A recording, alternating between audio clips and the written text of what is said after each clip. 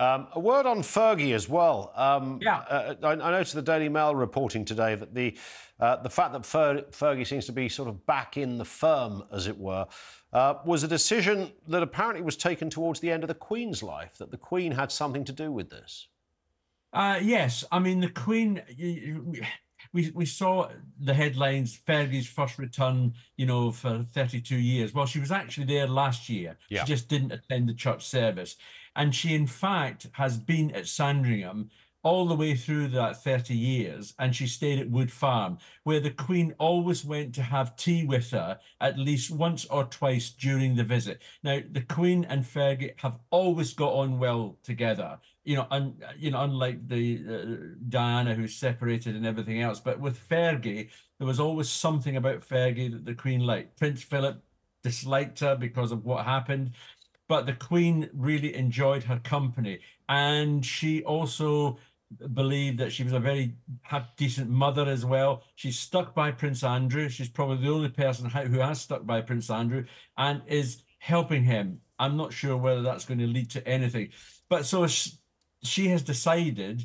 Uh, the Queen at the end that uh, there should be some reconciliation with Fergie, and Charles acceded to that. And also, it's interesting that she's granted Fergie, when the time comes, a Windsor funeral, and she'll be she will eventually be buried in the family plot, which again, that- nice touch. I mean, that is it is a nice touch, but that, that really surprised me because I always thought if you weren't royal blood, you didn't have the official lineage, uh, No. then you wouldn't be there. I, I wonder what kind of um, royalists will make in a hundred years' time. Um, of, of that because it, there may be precedent for it. I don't know, Charlie, but it's certainly I'm not sure unusual. there is precedent for it. I just think it was a nice thing to Agreed. do. Yeah, yeah. Queen to do that, uh, to uh, you know, if you like, honor her ex daughter-in-law in in such a way uh, as to give her that that right to be buried in the family plot, which always again underpins the fact that the Queen always had a soft spot for Fergie.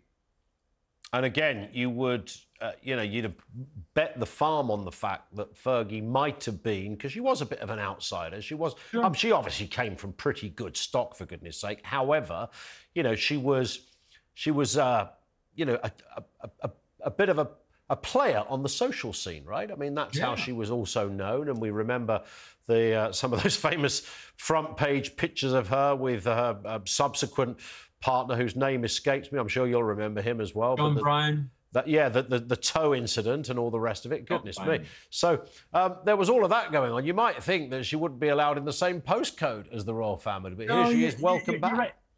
And when I did the Royals, and whenever we came across and you know, we we used to write some what she would think would be terrible things about her, but you know, were were actual factual things about her. She she made some uh, bad decisions, some bad financial decisions. Also, the toe sucking wasn't exactly a great decision to do either. Yeah. Uh, but I always had a lot of time for her, and uh, she was always very, very friendly. It was always good chats with her. Um, you know, I, when I say jolly hockey sticks, I don't mean that in a derogatory term. She was always very bright, very breezy. You know, always had a had a you know how's the family and all that sort of stuff. You know, which was always very nice. You know, to hear, and it was always pleasant to be in her company, even when things were not going well for her. Yeah, I would imagine. I mean, putting all of that aside, if I was going to sit down with a gin and tonic with any of the uh, the, the royals, I'd imagine Fergie would be the one that you'd have a bit of a giggle with. Yeah, you would certainly have a giggle with Fergie. There's no question about that. there it is. Uh, Charlie, thank you. Charlie Rae with us here on Talk TV. Tom Slater is with us uh, as well. Um, Tom, you're probably a couple of weeks younger than me, so you might not be fully.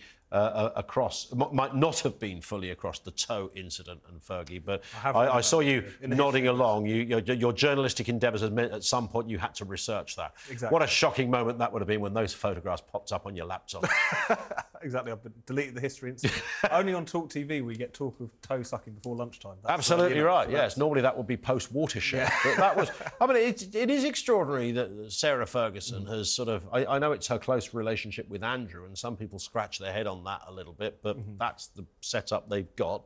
They divorced; it was amicable, and they're still great mates, and she lives with him. No, And that's quite extraordinary in itself. It is extraordinary, but all sorts of strange arrangements happen around the royal family, don't they? Um, and I think it was one of those things where obviously Fergie and in her day causing a fair amount of scandal. But it was also someone who was still in the background, wasn't someone who was seen to be kind of exploiting the. Um, the connection to the royal family for her own. Yes, that's a good point. And so, because of that, I think it was a lot easier, perhaps, for, for the Queen Yeah. to sort of play favourites in relation to her, without it being as much. I think so. Much of a sort of I public think so. scandal. Have you watched the, the coronation documentary? I haven't seen. It's it, It's worth a look because it's not the kind of thing that I would ordinarily have gravitated mm. towards. But it was just, I just thought the st- watching how a coronation is put together mm-hmm. is, is interesting enough. And put, the, getting the crown measured, but the, the guy that sits there with the crown in his hand, re-putting jewels in and, mm-hmm. and welding bits to it is extraordinary. The tapestry, the making of the gowns, and all of it. And then, of course, the sheer choreography of mm-hmm. putting this huge event together was massive.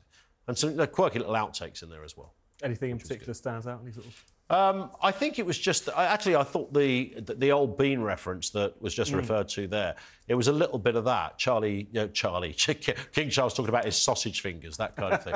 uh, self-appreciating stuff.